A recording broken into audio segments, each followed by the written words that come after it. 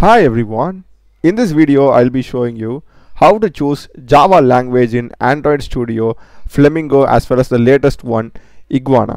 So let's get started. So you'll be getting an interface like this whenever you open Android Studio and to the top you'll be having this new project option. Click here and by default it will be in empty activity this one and if you just click on next basically you won't be getting the Java option so what you need to do is just go back and rather than choosing this empty activity I would recommend you to choose this basic views activity or empty views activity.